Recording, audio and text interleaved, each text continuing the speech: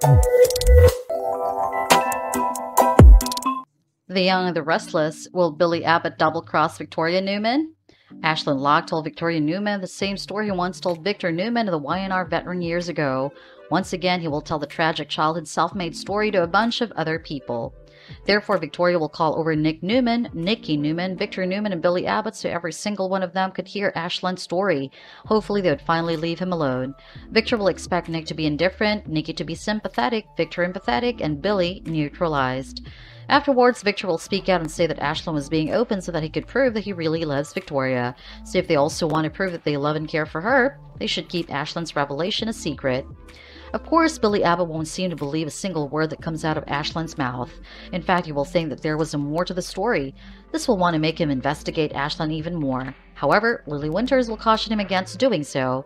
It's very easy to imagine what Billy's next move will be. We know that he has a history of dumping girlfriends when they don't support all his whims. Very soon, Billy may start looking for other fishes in the sea if Lily failed to give him her support. Perhaps he may hope to get back together with Amanda Sinclair. The woman's very good when it came to entertaining Billy Abbott's ego.